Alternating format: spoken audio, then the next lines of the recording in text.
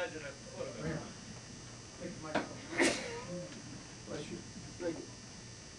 It's a statuette of a airman, Take it. uh, quite typical, he's being depicted as quite typical of what an airman looked like when he was getting ready to go off on a mission. The airman has on inverted sheepskin jacket, inverted sheepskin trousers, sheepskin boots. and helmet is lined with sheepskin.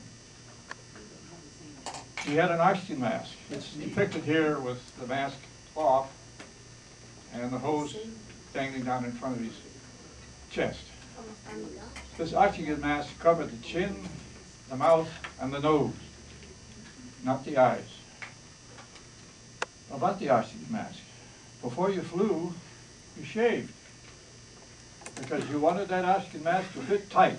You didn't want any air leaks and so forth. But my personal oxygen mask, because I have an irregularity in my nose, they took a half hour in fitting it.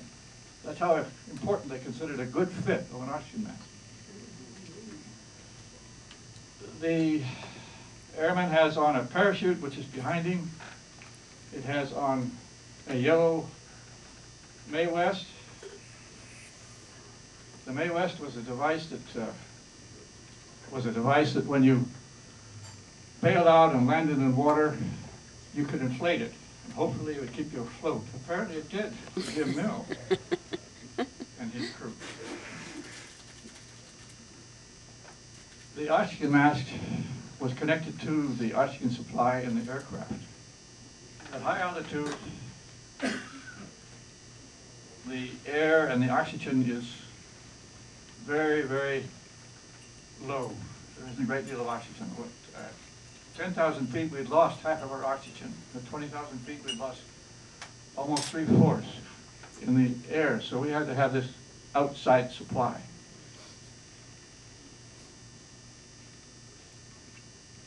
Now, I've described the outside of the, the outer clothing there, but I'll describe the inner clothing, and I can only talk from my own experience. I got up in the morning, on the day I have the mission, we were awake- awakened about three o'clock, shaved, went and had breakfast, went to briefing, and then we went into the dressing room. Before I left the barracks, I put on a heavy pair of long underwear.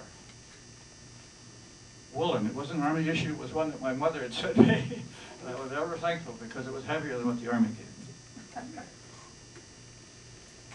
Then I put on my uniform khaki or olive drab shirt, wool, and my uniform woolen trousers. Then I put on long silk white gloves. Over that, woolen gloves.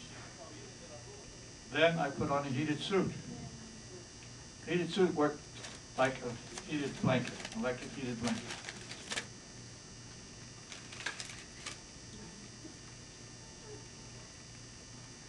The heated suit consisted of a jacket, heated gloves, heated boots, and heated trousers.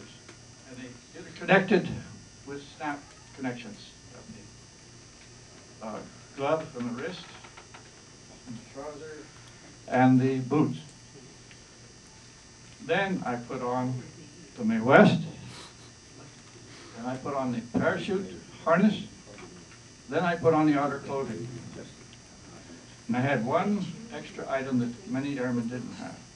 And I, to this day, I don't know how I acquired it, but thanks to a lady in Connecticut, who I wrote a thankful letter to, I had a knitted olive drab scarf, eight feet long, one foot wide. They were real, they were necessary for tail gunners because Yes. because of the cold. Uh, That airplane had two openings on each side of the rear doors, and there was like a hundred and sixty mile an hour gale went through those slots, and the tail gunner sat right in the middle of them. Now, why did I put on so much clothing? For one, you're in an airplane that had none of the conveniences of a modern airplane. It was drafty. windy. If you were a waist gunner or a tail gunner, you were standing in a gale. And often, at bombing altitude, it was 50 below or even lower. My pilot told me that the external air temperature gauge, its highest marking was minus 50 degrees. And often the needle on that meter was pinned against that 50 minus 50 degrees. How about the microphone? Yes. Some of the older, earlier versions of the microphone was a throat mic, which you had to sort of fit tightly with a strap, and sometimes to talk intelligently, hold it against your throat. The later ones were incorporated into the oxygen mask. And the heads, the uh, helmet had a set of headphones in it. These were connected to an intercom system. This provided the ability to talk to your fellow crew members while you were flying. Back to the scarf. I would put the scarf on after I had put my oxygen mask on. Start up here, go around, around, come down all the way to my chest, and then take the two ends, and stuck it inside my outer jacket. Ow. Then make holes in the scarf to make sure that I didn't block the exits or the exhaust for the oxygen mask. You had to be worried about the oxygen mask exhaust getting full of ice from the moisture in your breath. This is my personal experience. This is how I lived and worked with the cold. It was a very common experience for all the people who flew.